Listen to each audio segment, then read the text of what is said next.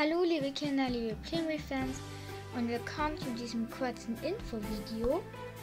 Ja, der November neigt sich am Ende zu und die Adventszeit beginnt und somit steht auch Weihnachten vor der Tür.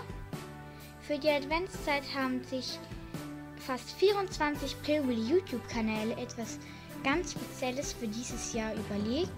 Und zwar ist unter der Organisation von Geschichten aus Schöner Garten ein Playmobil YouTuber Adventskalender 2021 entstanden.